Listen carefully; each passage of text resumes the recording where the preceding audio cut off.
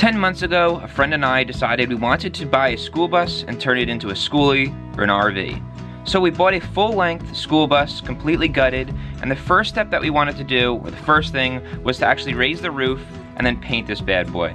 So we raised it 16 inches, we're able to put new sheet metal on, prime the entire bus, paint it, so that the exterior was completely done and finished, so we could move on to the interior. In those 10 months, a lot has happened, and that's why I want to give you guys an update of where we're at with the bus. And that's where we are now, 10 months later.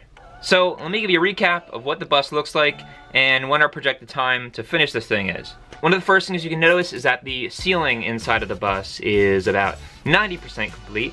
Most of the trim work is up along the edges where it meets the cabinets and the walls.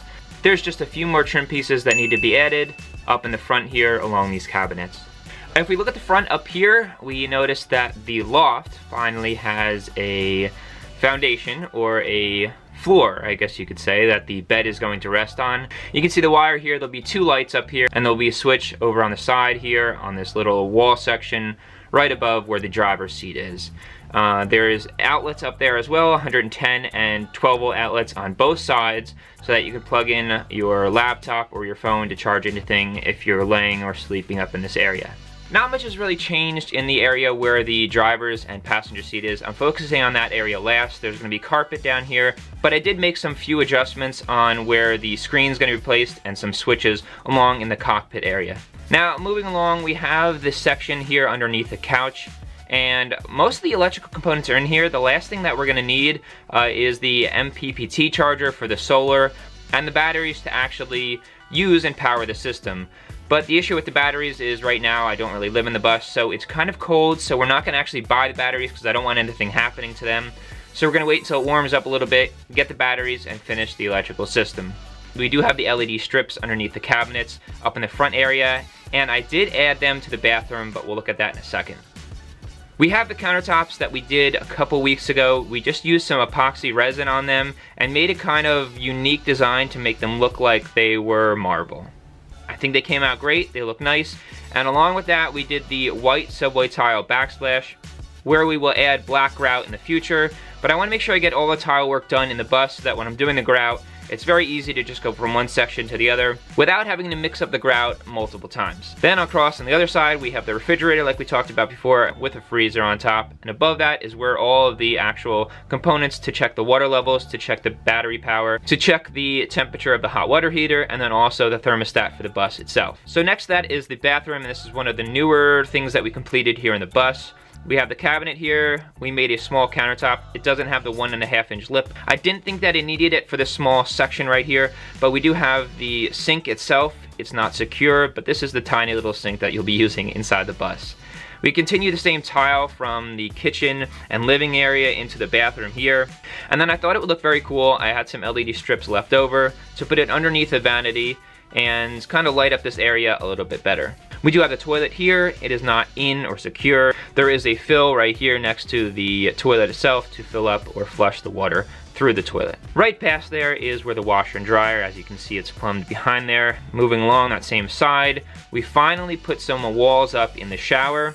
We're gonna use some RedGard to make sure everything's fully waterproof. We're gonna add a lip in the front and then we're gonna use some dry pack to actually slope the floor into the drain itself. We also got the tile for the floor itself. It's a honeycomb style and I got a very, very good deal on it. So the shower base itself, the tile, it only cost me about $20 for all the tile that I need. And in the back section right here, we have the bed.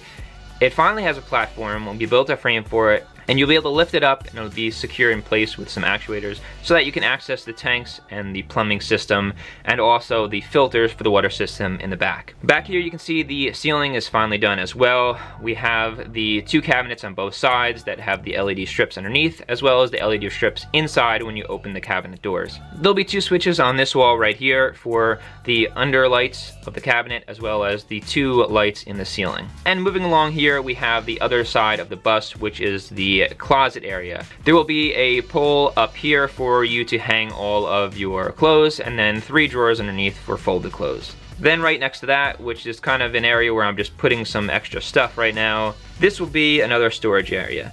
I'm not sure what to put here, but for right now we're just gonna close it in and kind of decide later what exactly we want to put there.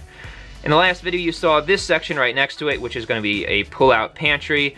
That's not done yet, but the next step in the bus is to actually start building all the drawers for the cabinets in the bus.